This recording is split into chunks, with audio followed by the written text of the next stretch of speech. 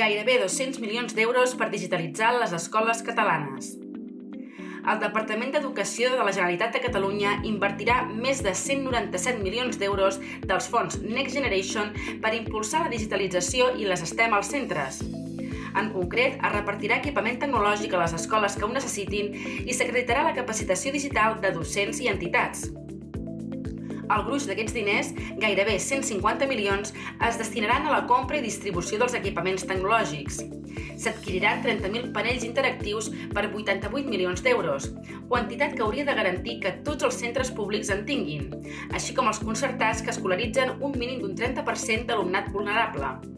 També s'invertiran 50 milions a conformar un catàleg de robòtica i computació, que es calcula que arribarà a 8.329 línies, d'infantil de segon cicle a secundària. D'altra banda, s'actualitzaran 105 aules dels centres d'educació especial amb pantalles, taules de llum, impressores 3D, comunicadors de veu, auriculars aïllants o ratolins adaptats amb una partida de 2,6 milions d'euros.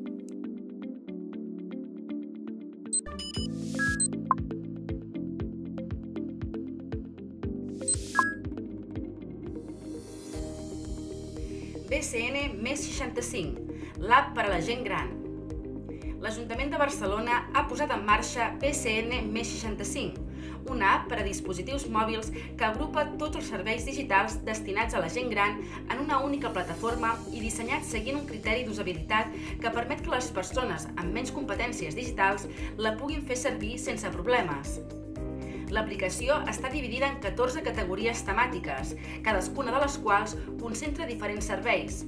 Així, seccions com activitats i tallers, formació, a prop meu o lleure i cultura estan destinats a oferir opcions de pel temps lliure, mentre que també es disposa d'apartats com casals i espais de gent gran, recursos socials, seguretat o transport i mobilitat. Per a qüestions administratives s'inclou la categoria Tràmits, mentre que també recullen telèfons d'utilitat i una secció d'apps municipals d'interès.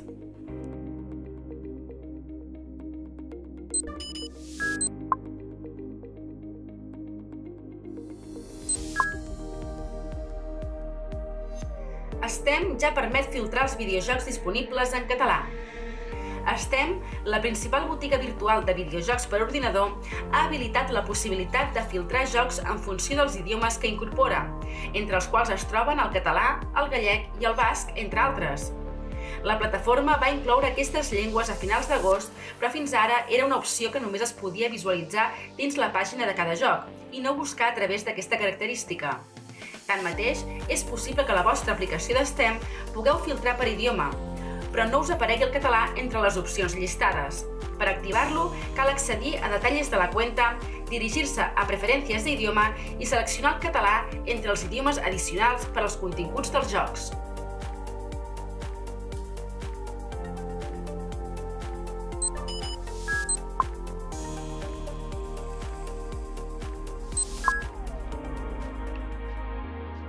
Innodelta, l'aliança llobregatenca per impulsar la innovació local.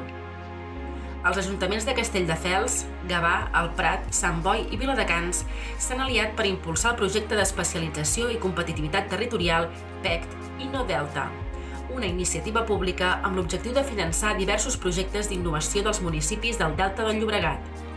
El PECT compta amb un pressupost de 4,3 milions d'euros i la participació de l'Institut de Ciències Fotòniques i el Centre Internacional de Mètodes Numèrics en l'Enginyeria. La finalitat del nou PECT és millorar la capacitat d'innovació de les pimes del territori i fomentar l'emprenedoria en el sector industrial. En total, l'Inno Delta donarà suport econòmic a 8 projectes d'innovació recolzats pels consistoris municipals. El Delta Eco Circular Lab de Gavà, el Delta On Startup de Castelldefels, el Delta Social Co-op Lab de Sant Boi, el Delta Logistics and Mobility Lab del Prat, la plataforma Dades i Coneixement i el Delta IOT and IA Lab amb dos de Viladecans. Per la seva banda, l'Institut de Ciències Fotòniques gestionarà un projecte d'emprenedoria fotònica, mentre que el Centre Internacional de Mètodes Numèrics en l'Enginyeria s'encarregarà d'una iniciativa high-tech. El 50% del pressupost prové de fons europeus, mentre que l'altra meitat ha estat aportada pels mateixos ajuntaments.